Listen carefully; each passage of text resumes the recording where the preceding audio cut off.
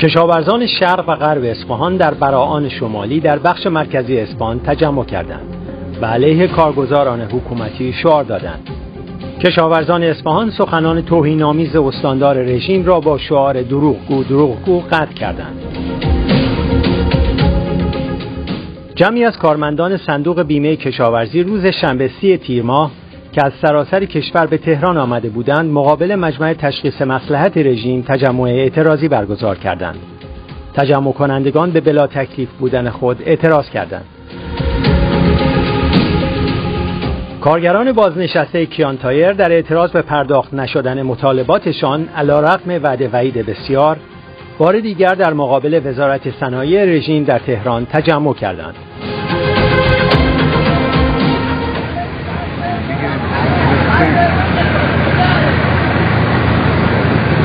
سرا وعدتیه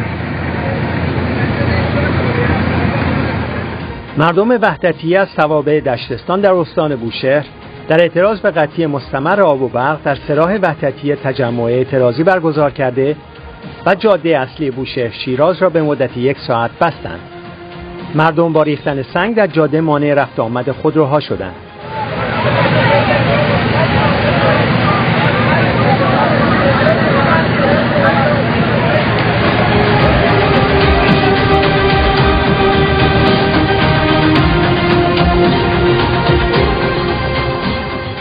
روز شنبه سی تیر کارگران صد لاستیکی تالش ششمین روز اعتصاب خود را در اعتراض به پرداخت نشدن حقوقشان پشت سر گذاشتند.